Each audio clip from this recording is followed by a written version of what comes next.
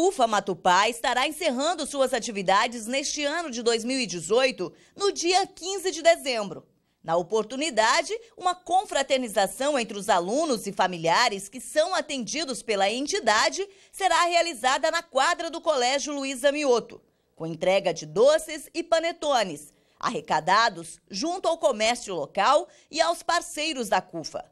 Além disso, a diretoria está arrecadando doações de roupas e calçados usados, para também ser distribuído no dia do evento para as crianças e as famílias da CUFA.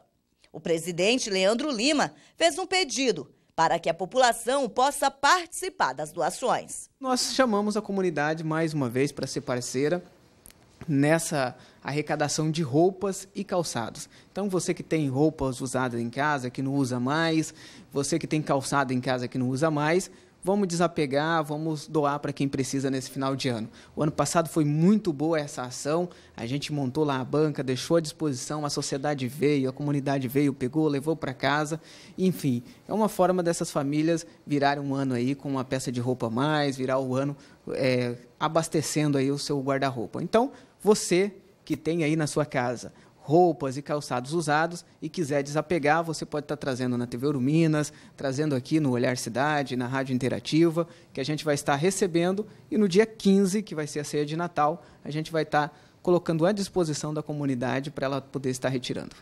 Leandro agradeceu as grandes e importantes parcerias que a CUFA contou ao longo do ano. A CUFA tem vários parceiros e a gente não pode deixar aqui de agradecer todos eles, principalmente a Teovero Minas, que sempre nos atendeu, você, o Marcos Icassati.